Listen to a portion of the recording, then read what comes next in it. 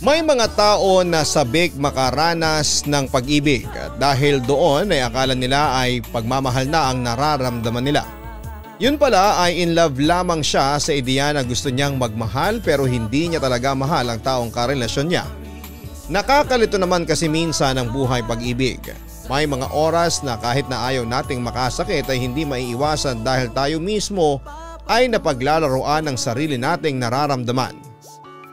Dear Papa Dudut, Minsan sa sobrang komplikado ng pag-ibig ay ikaw mismo ang malilito sa nararamdaman mo. Pero minsan naiisip ko rin na pag-ibig nga ba ang komplikado o tayo mismong mga tao. Hi Papa Dudut at sa lahat ng mga ka-online na nakikinig ngayon, tawagin niyo na lamang po ako sa pangalang Lorraine. 23 years old at isang admin staff dito sa Pasig. Pangalawa ako sa tatlong magkakapatid. Simple lamang ang buhay namin at parehong magsasaka at nagtitinda ng bigas sa mga magulang ko. Mahira pero kinaya nilang iraos kaming magkakapatid sa buhay at sa pag-aaral. Sa ngayon nga ay engineer na ang kuya ko at IT graduate naman ang bunso namin. Pagdating naman sa love life ay NBSB ako at may pagka-hopeless romantic. Sobrang hilig kong magbasa ng romantic novels at fans din ako ng mga K-drama series at movies. Madalas nga akong asarin ng best friend ko since high school na sina Irma at Ted. Nakakapantasya ko raw sa mga pinapanood ko eh baka tumanda na akong dalaga. Madalas daw kasi parang nadadala na rin ako sa totoong buhay ng mga napapanood ko. Kaya nga siguro madalas din nila akong inaasar at nirereto sa mga lalaking napapansin nila sa buhay ko. Ako lang kasi ang single sa aming magkakaibigan. Si Irma ay may long time boyfriend since first year college. Si Ted naman na gay friend namin at isang events uh, coordinator ay wala mang boyfriend eh hindi naman nauubusan ng kafling. Kaya minsan ay mas atat pa talaga sila sa akin na magka-boyfriend na ako nang maranasan ko naman daw ang totoong kiligin papadudot.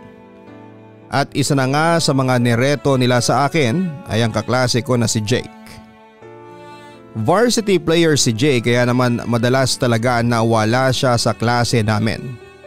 At ako rin ang madalas niyang nilalapitan para hiraman ng mga notes sa mga klase na hindi niya napapasukan. Noong una ay hindi ko naman talaga siya napapansin. Parang normal na kaklase lang ang tingin ko sa kanya. Lalo na kapag uh, nangihiram siya ng mga notes ko. Kahit nga ang pagbibigay niya sa akin ng mga pagkain pagkatapos kong ipahiram ang mga notes ko sa kanya ay hindi ko rin binibigyan ng mali siya. Yung mga kaibigan ko lang talaga na sina Irma at Ted ang madalas na nagsasabi na may gusto sa akin si Jake. Dahil nga raw sa sweet gestures na ipinapakita nito. Hanggang sa unti-unti ay nagkagusto na rin ako sa kanya. Gwapo naman kasi si Jake. Bukod sa matangkad siya at maganda pa ang ngiti niya kaya naman ang lakas talaga ng datingan niya sa akin. Nahalata na rin yun ng mga kaibigan ko at sinabi nila na mukha raw torpe si Jake kaya hindi pa ako nililigawan. Nagsuggest pa nga sila na gawan ko raw ito ng love letter at iipid sa notebook ni Jake. Ayoko talagang gawin yon kasi ayokong gumawa ng first move para lamang magka-love life. Pero sa huli ginawa ko na rin ang suggestion nila dahil ayaw akong tigilan ng mga kaibigan ko.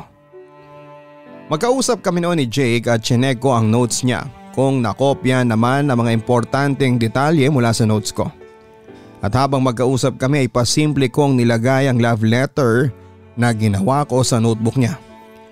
Mukha namang hindi niya yon napansin dahil binigyan pa niya ako ng pagkain bilang pasasalamat niya sa akin.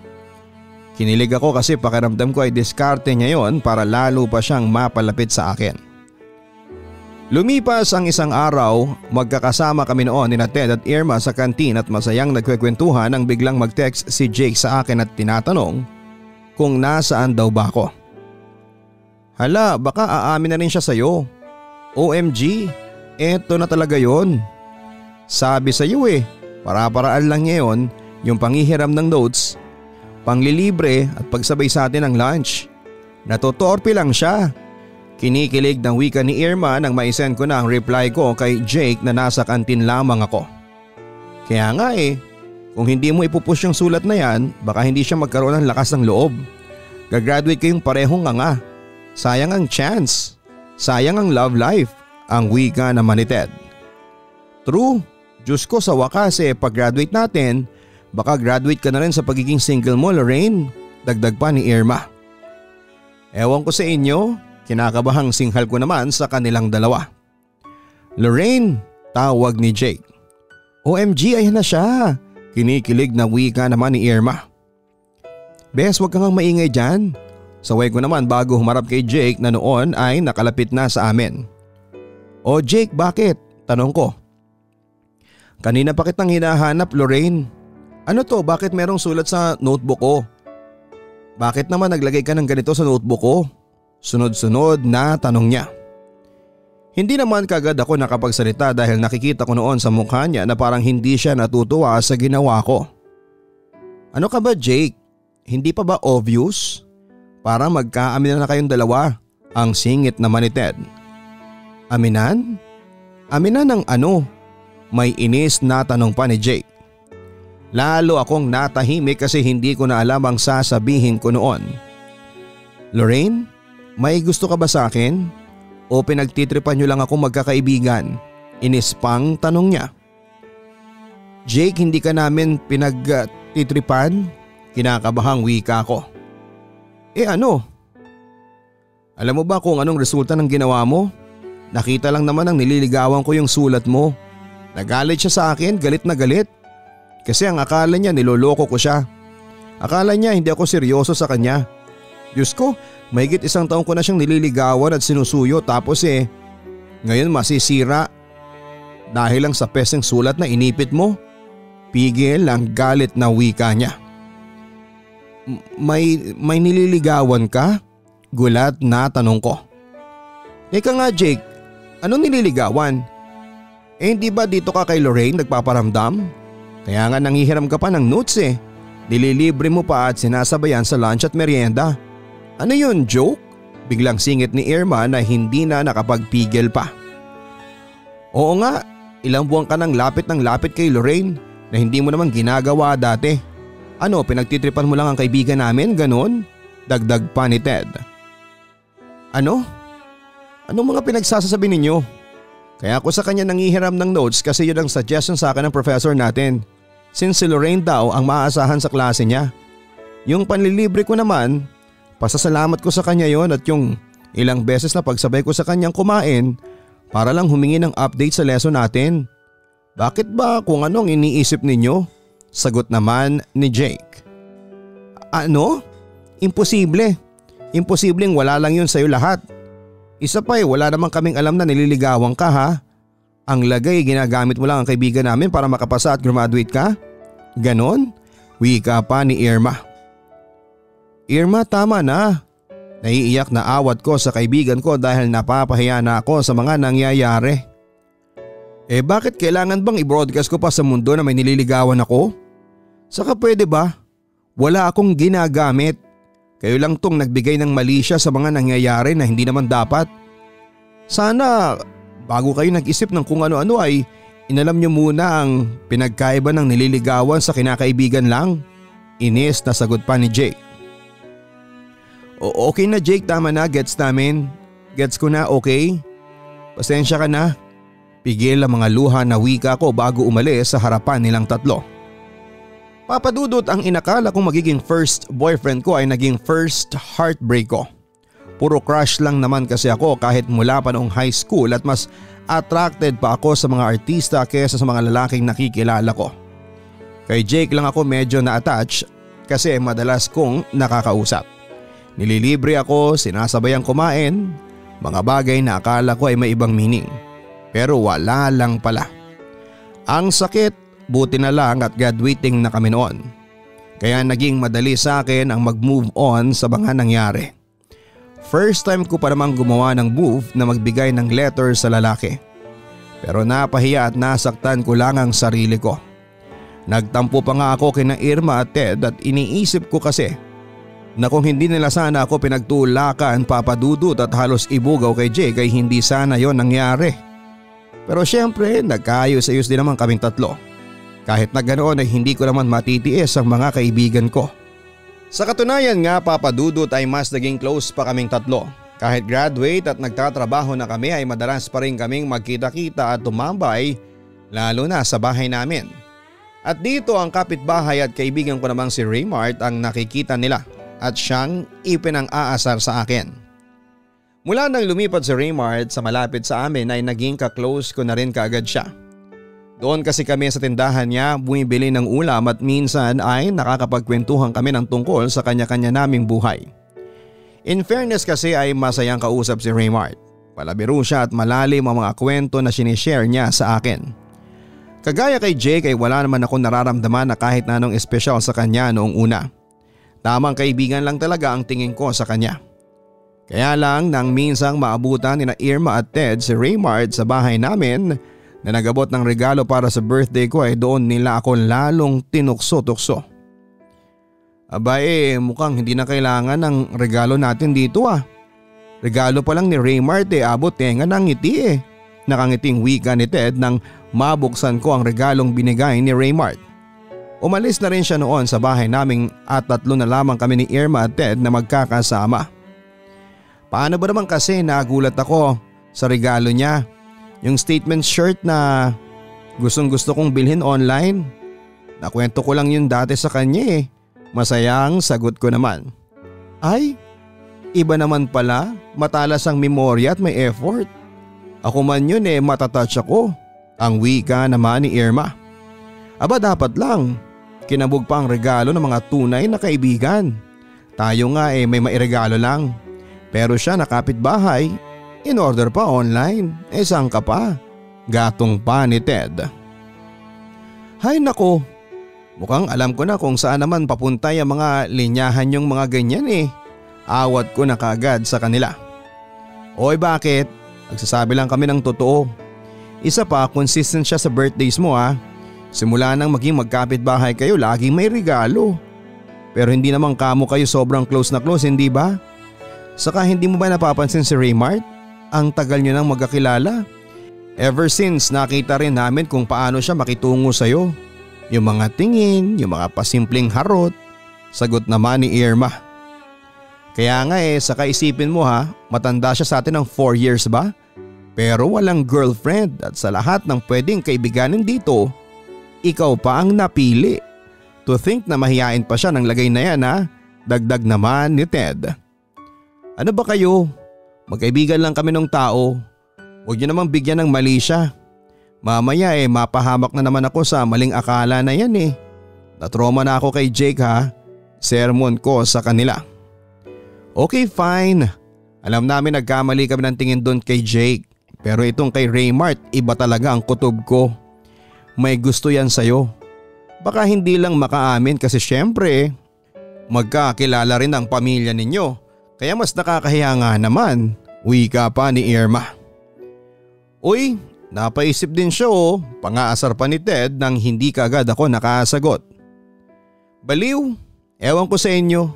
Birthday na birthday ko nilalaso ninyo ang utak ko. Bakit ba parang atat na atat kayong magkajowa na ako? Natatawa ang tanong ko. Aba syempre, ang tagal na namin naghihintay kung kailan ka magkaka-boyfriend no? At ngayong 21 ka na, may trabaho ka na rin wala ka pa ring balak.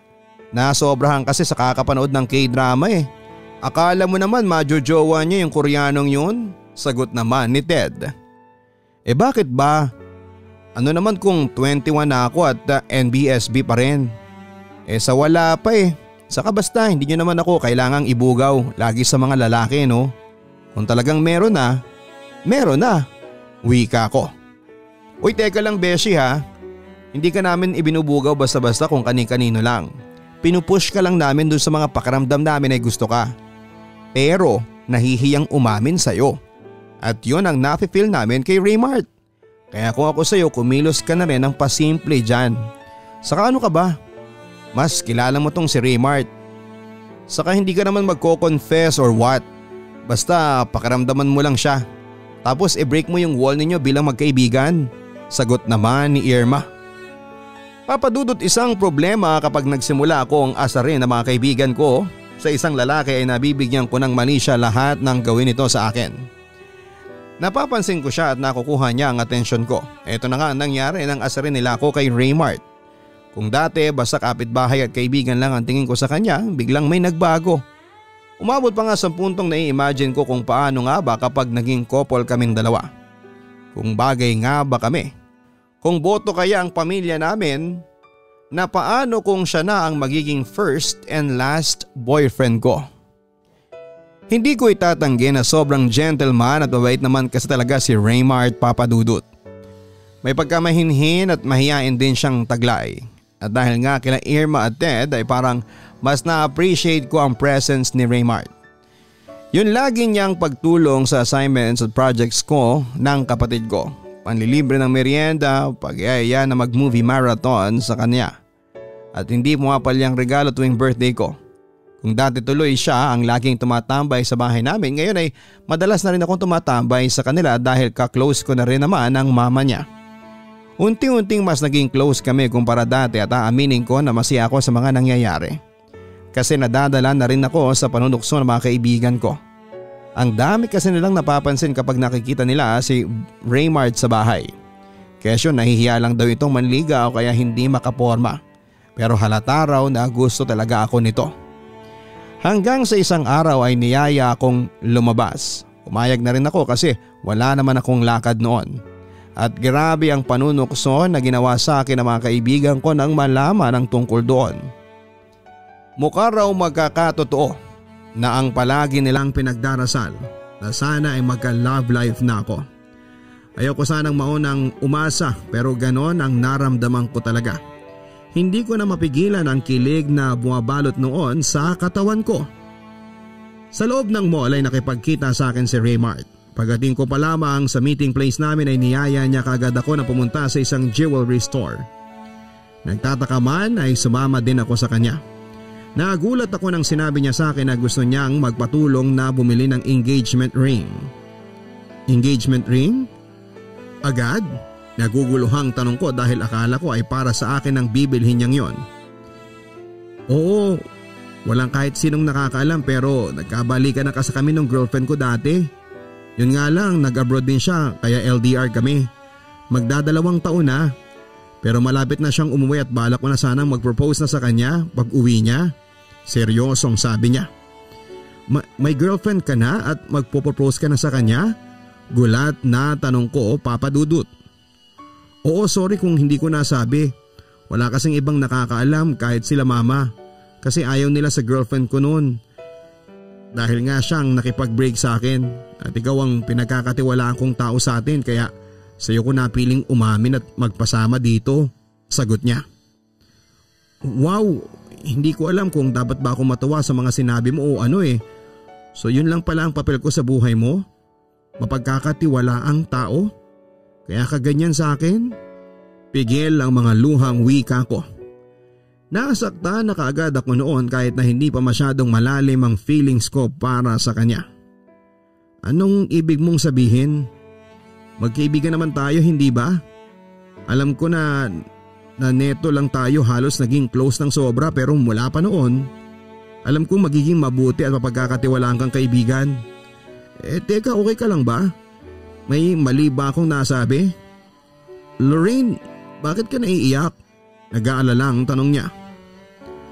Umiling naman ako bago nagsalita. Wala. Wala kang mali. Ako yung may mali. Ako yung tanga. Ako yung nag-assume. Yung nagbigay ng mali siya.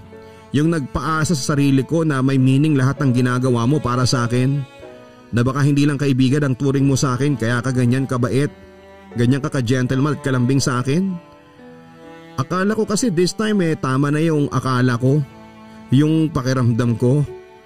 Akala ko sa wakas eh mahal na talaga ako nung taong kaharap ko.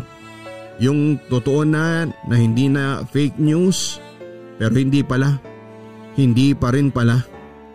Raymart, sana naman next time eh na makikipagkaibigan ka ayusin mo ha. Huwag masyadong bigay todo.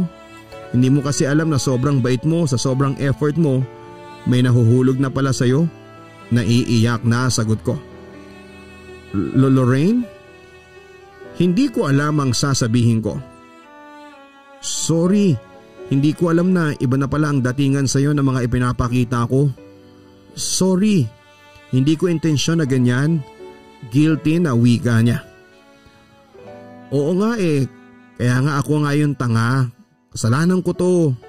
Naging mabait ka lang, naging asyemera naman ako. Akala ko lang talaga kasi meron eh. Hay, sorry pala ha kasi hindi yata kita matutulungan sa gusto mo. Pasensya ka na ha.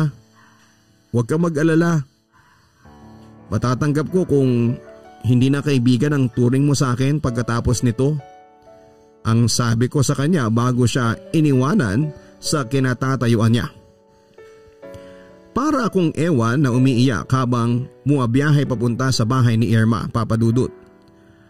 Alam ko kasi na nandun si Ted at pareho silang naghihintay sa akin at nang makarating nga ako doon ay mas lalo akong naiyak nang salubungin nila ako ng masayang tanong kung nandiligaw na raw ba si Raymart. Kung kami na raw ba o kung ano ba ang nangyari sa date naming dalawa. Huy Bes, ano ba talagang nangyari? Bakit ka umiiyak? Nag-aalala ang tanong ni Irma. Huy, kukumprontahin namin si Raymond kapag hindi ka nagsalita dyan. Dagdag pa ni Ted. Gusto niyo talagang malaman ang nangyari? Pwes pinahamak lang naman ako ulit ng mga maling akala nyo. Nagmukha na naman akong tanga. Ang tanga-tanga ko talaga. Umasa na naman ako sa wala. Paninisi ko sa kanila. Anong ibig mong sabihin? Naguguluhang tanong pa ni Irma. Wala naman kasing ibig sabihin ang lahat. Lahat pala ng ipinakita sa akin ni Raymart mula noon. Walang ibig sabihin yun. My girlfriend siya. At alam niyo kung bakit niya ako niyayang lumabas kasi magpapatulong siya sa akin bumili ng engagement ring. Naintindihan niyo ba ha? Naintindihan niyo? Kaya utang na loob, tantanan niyo na ako. Tigilan nyo nang may ipagtulakan sa akin na kung sino-sino. Kasi sa huli ako naman ang nagmumukang tanga. Ang asyomera, ang umasa at napahiya. Ako na naman. Please lang tama na. Pakiusap ko sa kanila. Papadudot mula nga noon ay nawala na kung anumang samahan ang meron kami ni Raymart. Nagkahiyaan na kami pareho, medyo awkward at mahirap dahil magkabit bahay lamang kami. Pero kailangang maging matatag. Hanggat kaya ay pilit na lamang akong umiwas. Hindi na rin ako nagpupunta sa kanila at kahit na ayaw ko ay unti-unti ring nadamay ang closeness ko sa pamilya niya. Mula rin ang mangyari ito papadudot ay talagang binantaan ko sina Irma at Ted na huwag na huwag akong irereto o aasarin sa kahit na sinong lalaki. Naiintindihan at nirerespeto naman nila ang gusto ko. Kahit sino naman sigurong ilang beses nang napahiya dahil sa maling akala at pag-a-assume madadala na hindi ba? Paano ba naman nasaktan ka na nga napahiya ka pa? Double kill na yon kumbaga. Papadudot dahil nga sa mga nangyari ay nag-focus na lamang ako sa pagtatrabaho ko hanggang sa na-promote ako sa trabaho at doon ay nakilala ko naman si Eric. Mabait at sobrang sarap kasama ni Eric. Madali din siyang sumakay sa trip ng iba. Kaya hindi nakapagtatakang naging close namin ang isa't isa. Maging ni Ted. Yun nga lang mula nang dumating si Eric sa buhay namin ay muli ring bumalik ang dating gawi. Ni na Irma at Ted ang pangaasar sa akin. Lalo na nang sumasama na si Eric sa mga lakad dami ng mga kaibigan ko. Palagi tuloy siyang nako-corner at nai-interview ng mga kaibigan ko. Pero eto ah, para lang malinaw lalo na sa isa dyan. Wala kang girlfriend or ka-MU or ibang nililigawan ngayon hindi ba? Tanong pa ni Irma. Wala nga. Natanong nyo na yan dati eh. Natatawang sagot pa ni Eric. Eh pero teka, para malinaw ulit. Pero may nagugustuhan ka ngayon at plano mong ligawan hindi ba? Follow up question naman ni Ted. Oo, alam na alam nyo na rin naman yan eh. Sagot ulit ni Eric.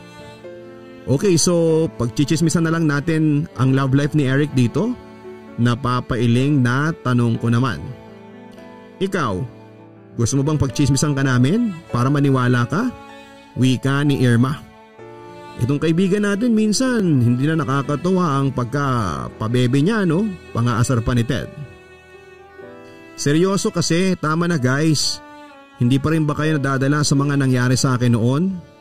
Ano, gusto naman akong magmukhang tanga? Tama na. Huwag tayong assume ng assume ha. At ikaw naman Eric, pasensya ka na sa dalawang to ha. Talagang malakas lang ang sapak nila. Pero huwag kang maniwala sa mga pang-aasar nila. Panenermon ko naman sa kanila.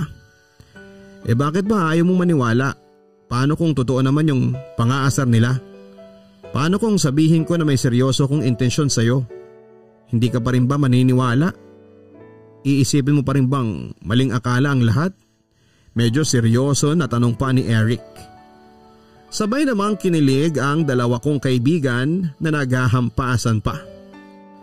Alam mo Eric, kung nakikisali ka sa trip nitong dalawang to, wala akong pake. Pero please lang ha, huwag niyo na akong pagtripan. Tama na.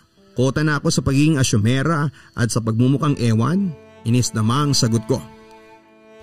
Seryoso kasi ako eh, hindi ka nag assume Lahat ng ipinapakita at pinaparamdam ko sa iyo, lahat yun ay may mali siya.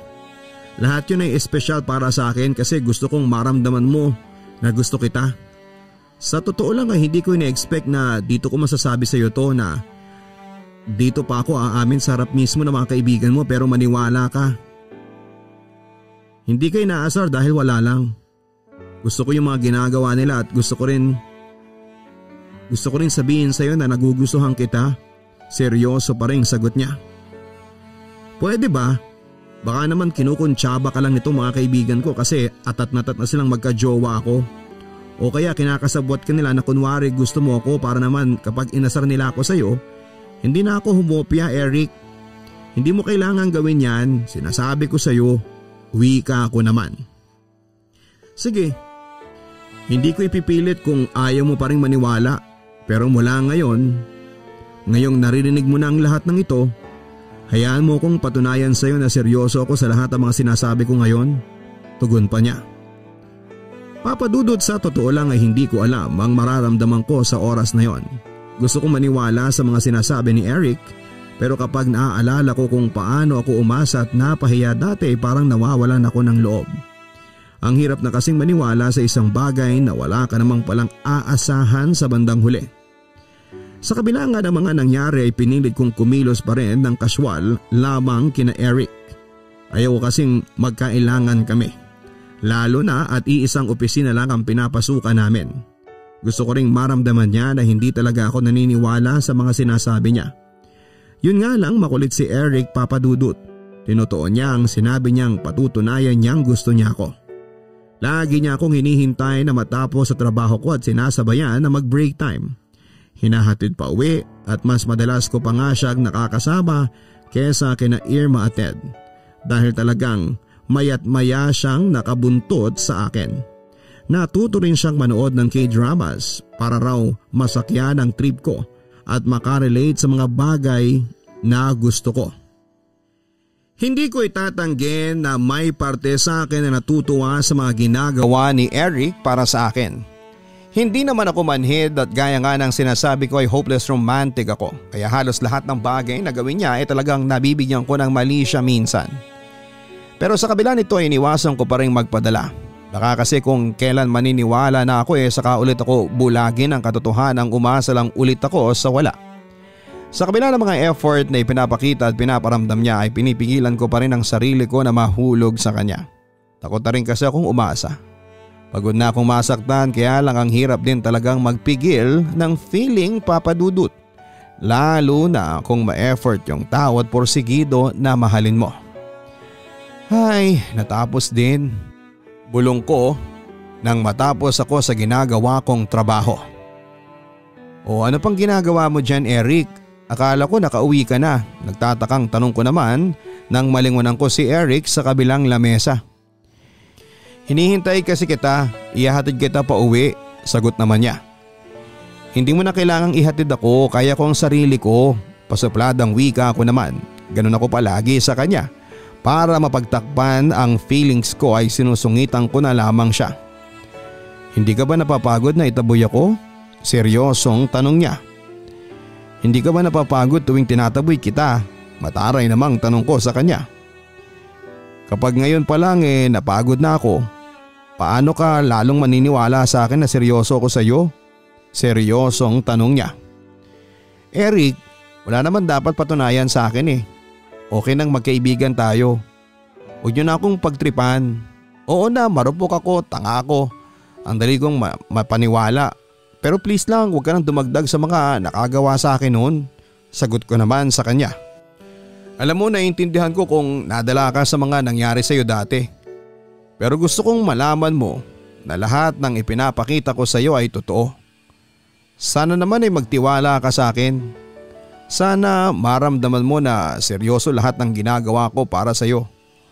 Huwag mo naman sanang isara ka agad sa akin ang pinto mo na hindi mo pa nabubuksan. Hayaan mo lang ako. Huwag mo naman akong itaboy.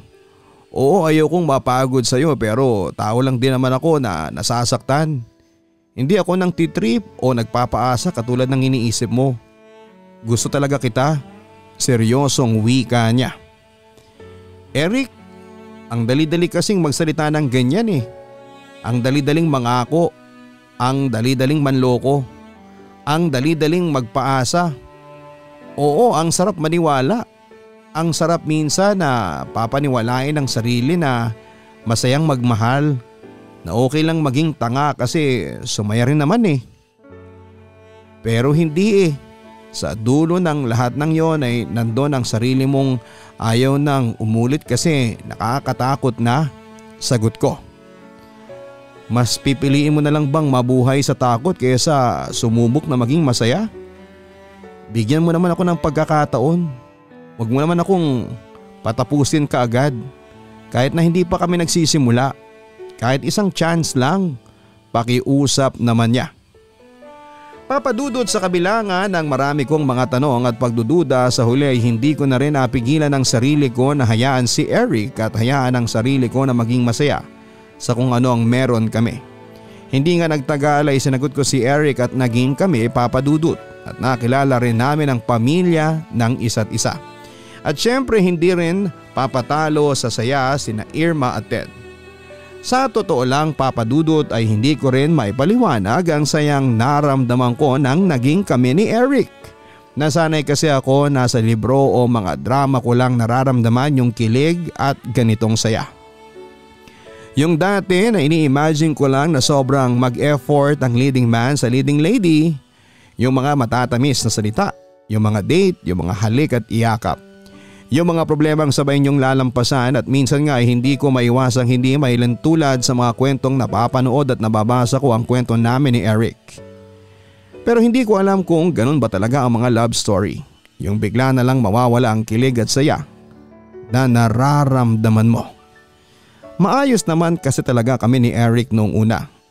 Masaya ang relasyon namin hanggang sa unti-unti akong nakaramdam ng sawa sa mga oras na magkasama kaming dalawa.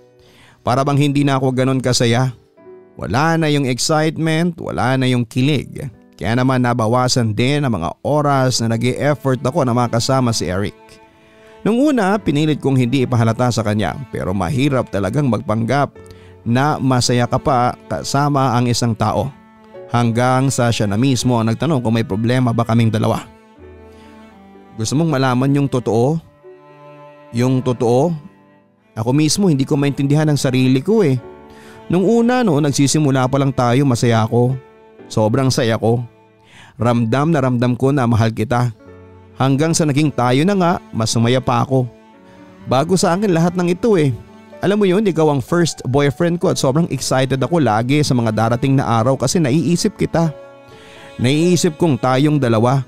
Pagtatapat ko sa kanya. Ako rin naman eh, ganyan ang nararamdaman ko. Kahit hanggang ngayon, wika pa ni Eric. Alam mo, hindi ko rin alam kung ano ang nangyari sa akin. Nung ini-imagine ko pa ang lahat, pakiramdam ko ang perfect eh. Sobrang saya. Sobrang sarap magmahal. Pero noong nandito na tayo, na totoo nang nangyayari ang lahat, habang tumatagal ay parang nawawala na ako ng gana. Na parang mas okay na lang manatili sa isipan ko ang lahat yung tayong dalawa?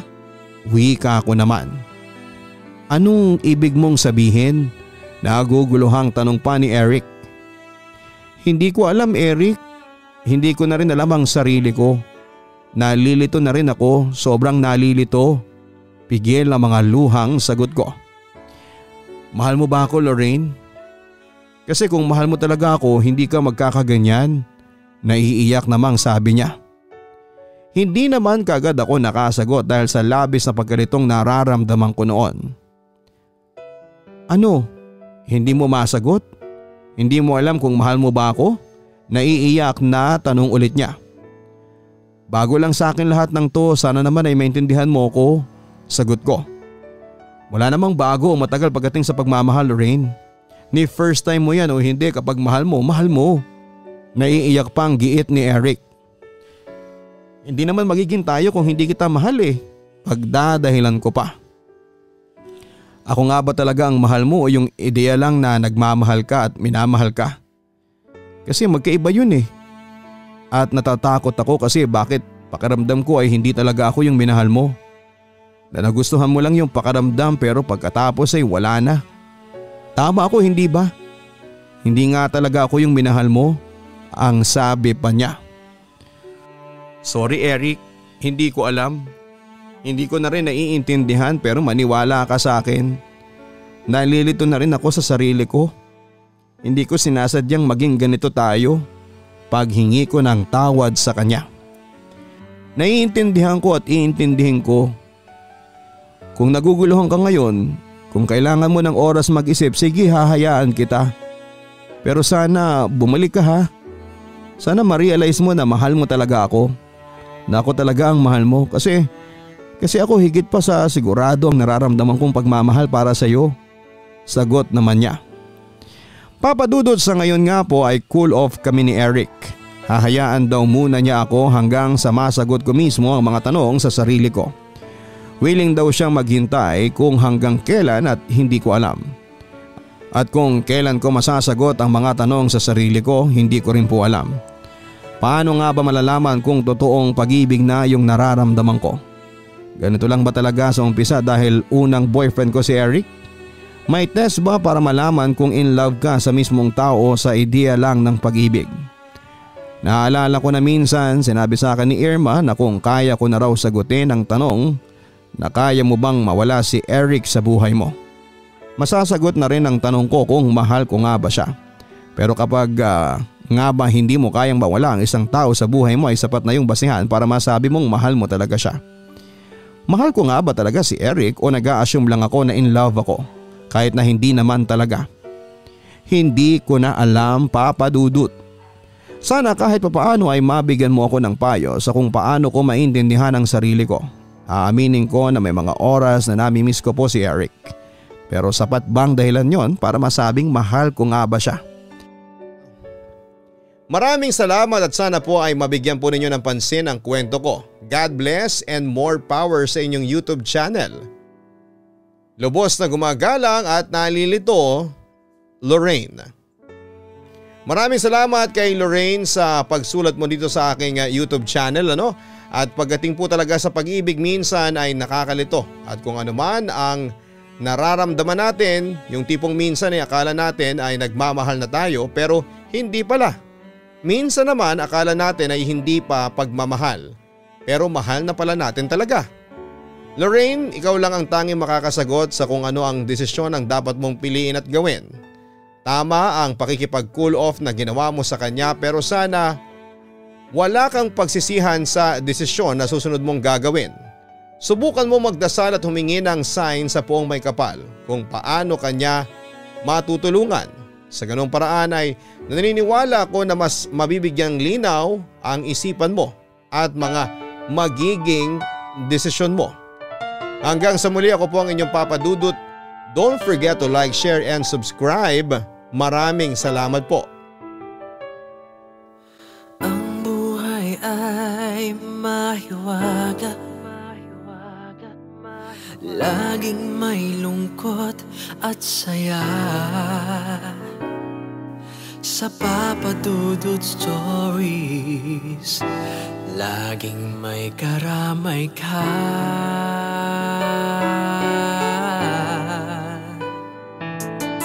Mga problemang kay bigat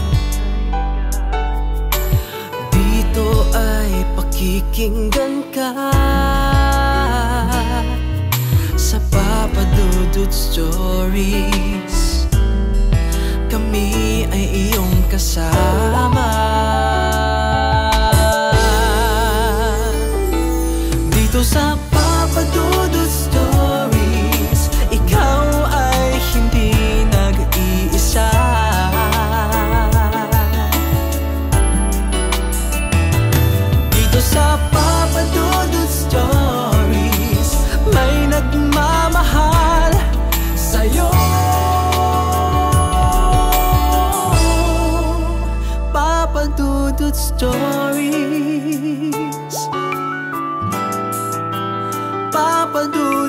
Stories Papa Dudut Stories